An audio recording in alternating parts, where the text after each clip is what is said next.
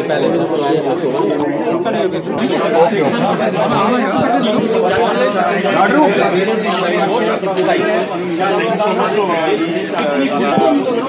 यतेंद्र कुमार है। मैं Punjab national bank के अंदर डिप्टी जनरल मैनेजर हूँ। आज 11 अप्रैल से अमरनाथ यात्रा की रजिस्ट्रेशन प्रोसेस को शुरुआत किया गया है। यात्रा 30 जून से प्रारंभ होनी है। आठ दिन पहले तक हम यात्रा के लिए रजिस्ट्रेशन करा सकते हैं। लेकिन इस माध्यम से मैं सभी यात्रियों से निवेदन करता हूँ, सभी श्रद्धालुओं से निवेदन करता हूँ कि वो पंजाब नेशनल बैंक की शाखाओं के अंदर जल्द से जल्द पहुँच के अपनी यात्रा को, की रजिस्ट्रेशन करा ले।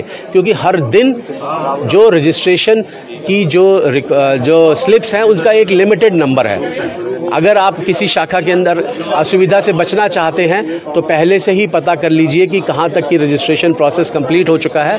आप उस हिसाब से फिर आके उस शाखा के अंदर अप्लाई कीजिए।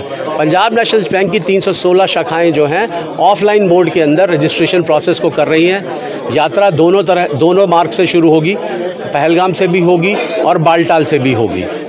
दोनों तरफ़ के मार्गों के लिए एक लिमिटेड नंबर ही अलाउ किया गया है। तेरह साल से लेकर पचहत्तर साल तक की उम्र के सभी लोग इस रजिस्ट्रेशन प्रोसेस के अंदर आ सकते हैं।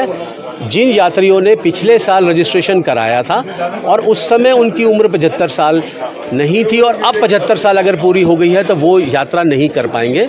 जिन यात्रियों ने पिछले साल सौ रुपये दे के रजिस्ट्रेशन प्रोसेस को कराया था, इस बार उन्हें मात्र बीस रुपये देने हैं। इस बार जो शुल्क है रजिस्ट्रेशन का वो एक सौ कर दिया गया है। पिछले साल वाल, पिछले साल के यात्रियों को बीस रुपये देने हैं और नए को एक सौ देने हैं। लेकिन फिर सबसे इंपॉर्टेंट चीज़ है मेडिकल सर्टिफिकेट जो कि उन्हीं डेजिग्नेटेड हॉस्पिटल्स या डॉक्टर से कराया जा सकता है जो कि श्राइन बोर्ड की साइट के ऊपर लिखे हुए हैं।